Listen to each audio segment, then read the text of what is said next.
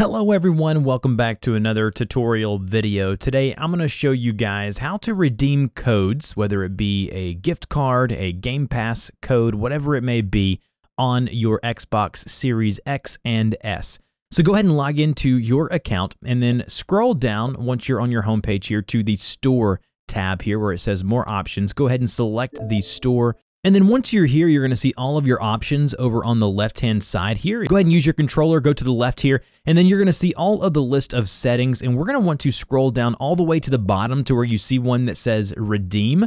If we select the redeem option here under cart, you're going to have the 25 character code that you need to enter that's off of the back of your gift card or emailed code that has been provided to you, whether it be for a game, Game Pass. I just used my uh, three month Game Pass code that I got from my wife for Christmas. This worked perfectly. And then go ahead and enter the code here, whatever that code may be. And then once you're done, go ahead and hit redeem or check code. And if it's a valid code, it will then be applied to your account. So that's how you redeem a code or a gift card on the Xbox Series X or S. If you're looking to learn how to do anything else on your Xbox Series X or S, go ahead and look at my playlist for other tutorials that'll help you kind of get up and started with your new console.